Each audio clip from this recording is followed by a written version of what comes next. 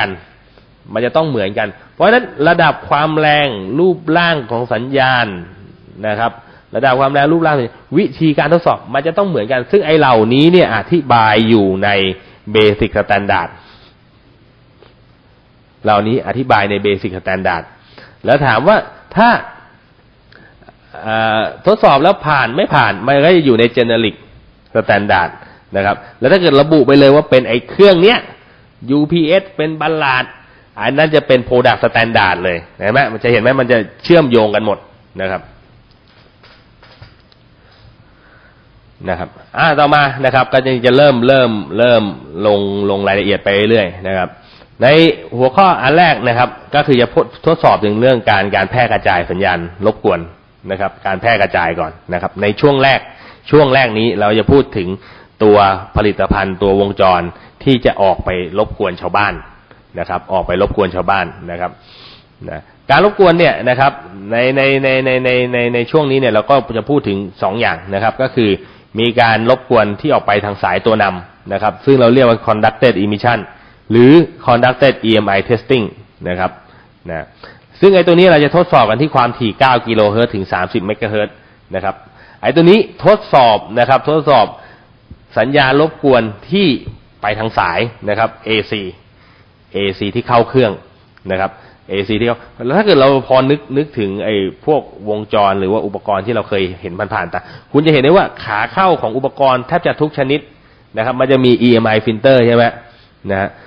ไอการทดสอบนี้เป็นการทดสอบว่า EMI filter คุณเนี่ย มันคุมสัญญาณรบกวนได้ดีแค่ไหน นั่นหมายว่าถ้าเครื่องไหนเครื่อง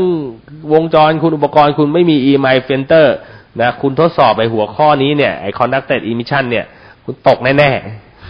ๆ คุณตกแน่ๆนะฮะถ้าถ้าวงจรคุณเป็นเป็นเป็นวงจรที่สร้างสัญญาณรบกวนนะ แต่คุณไม่มี EMI filter เข้าไป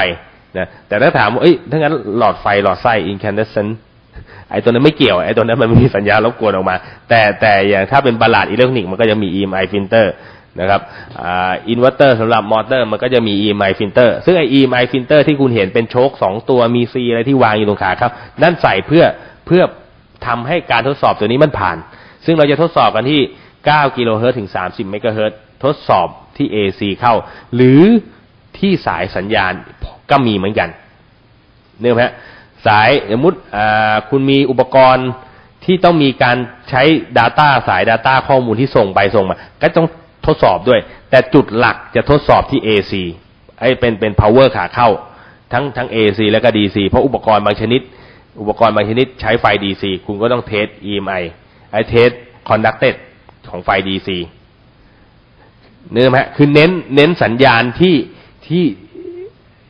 สัญญาณรบกวนที่ออกมาจากสายตัวนำที่ออกมาจากสายตัวนำนะครับ เราจะเรียกว่าเป็น conducted emission นะต่อมานะครับก็การทดสอบการแพร่กระจายทางอากาศ ไอ้ตัวนี้นะครับไม่ไม่ได้ไม่ได้ไม่ได้พูดถึงสายแล้วจะพูดถึงตัวเครื่องนะครับ ตัวเครื่องว่ามันแพร่กระจาย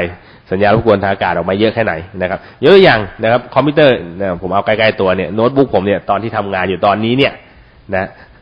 นะถ้าใครตาดีๆเนี่ยจะมองเห็นสนามแม่เหล็กไฟฟ้าที่ออกไป ก่อนที่โน้ตบุ๊กตัวนี้จะออก เอามาขายได้นะครับ ก็ต้องเอาไปเทส EMI ด้วยนะครับ ถามว่าทำไมเขาบอกอ้าวไม่มีไฟไม่มีอะไรใช้แบตเตอรี่ เพราะฉะนั้นในกรณีที่ไม่มีไม่มี AC ไม่มีสายใช้เฉยๆ ตัวนี้ไม่มี conducted ตัวนี้มีแต่ radiate เห็นไหมก็ต้องเอาไปยกไปวางนะครับ แล้วก็วัดดูว่าไอ้ตัวเนี้ยนะครับ ระหว่างขณะที่มันทำงานเนี่ยมันมีสนามแม่เหล็กไฟฟ้าออกมาแค่ไหนนะครับ อันนี้ก็คือทดสอบการแพร่กระจายนะให้สังเกตนะสามสิบเมตรถึงหนึ่งจิก นะครับเพราะฉะนั้นนะฮะคุณจะเห็นได้ว่ามันจะต่อกันนะ 9 กิโลเฮิรตซ์ถึง 30 meg และ 30 meg ถึง 1 gigนะครับ เพราะฉะนั้นเนี่ยนะฮะเราอาจจะไปไปไปดูในตอนแรกเราอาจจะเคยได้ยินมาเขา test กันตั้งแต่ 9 กิโลเฮิรตซ์ถึง1กิกะเฮิรตซ์จริง ๆ แล้วเนี่ยมันแบ่งเป็นสองช่วงนะ ช่วงแรก 9 ถึง 30 meg เนี่ย test conducted 30 meg ถึง 1 gig เนี่ย test radiate นะครับ ซึ่งอ่า เอาสองตัวมารวมกันนะครับ มันก็จะได้กราฟของการ emission limit หรือขีดจำกัดของการแพร่ออกมานะครับ แกนนอนตัวนี้นะครับ แกนนอนตัวนี้ก็จะเป็นเป็นความถี่นะครับ จะเรียงตั้งแต่ 9 กิโลเฮิรตซ์ถึง1กิกะเฮิรตซ์นะครับ 9 กิโลเฮิรตซ์ถึง1กิกะเฮิรตซ์นะครับ แล้วนะครับ แกนตั้ง แกนตั้งก็จะเป็นหน่วยเป็นเป็น dB ไมโครโวลต์นะครับ เป็นความแรงนะครับ เป็นความแรงที่มันมันแพร่ออกมา นะแล้วคุณก็จะเห็นว่ามีขีดขีดมีมีเส้น ไอเส้นพวกนี้นะครับ ก็เป็นเส้นบอกลิมิตของมันยกอย่างเช่นนะครับ เป็น FCC Class A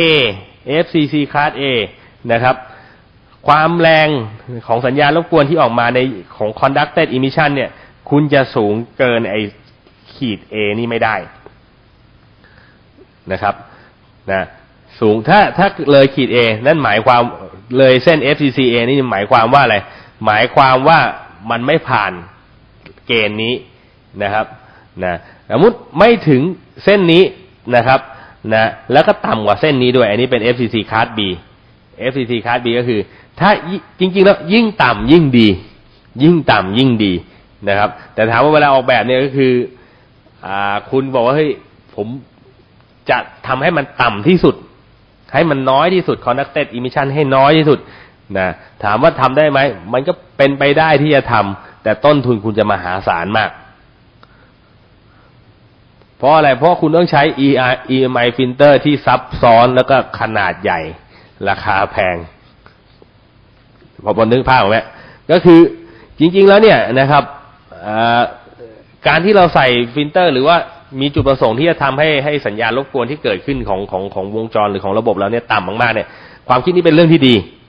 เป็นเรื่องที่ดีที่ว่าตัวเราไม่สร้างความปัญหาการรบกวนออกไปนะครับ แต่เราต้องแลกมาด้วยวงจรที่ซับซ้อนขึ้น EMI filter หรือว่าเทคนิคการแก้ปัญหาที่ต้องซับซ้อนแล้วก็แพงขึ้นนะครับ ซึ่งบางทีเนี่ยมันไม่จำเป็นที่ต้องกดให้มันต่ำขนาดนั้นนะครับ เราเพียงแค่นะครับว่าเอาให้มันต่ำกว่าเกณฑ์หรือต่ำกว่ามาตรฐานที่กำหนดไว้ นะครับ เพราะว่าอะไรในโลกนี้ไม่ใช่มีเราเป็นคนเดียวที่ออกแบบไอ้เครื่องนี้ ไอ้วงจรนี้นะครับ เพราะฉะนั้นนะครับนะการที่คุณต่ำกว่าเส้นลิมิต นั้นหมายความว่าคุณก็ทำตามกติกาแล้วนะทำตามกติกาแล้วนะยกตัวอย่างเช่นคุณจะชกรุ่นอะไร ชกมวยน้ำหนักไม่เกินร้อยปอนด์อ่าเก้าสิบเก้าจุดเก้าปอนด์ผ่านไหมผ่าน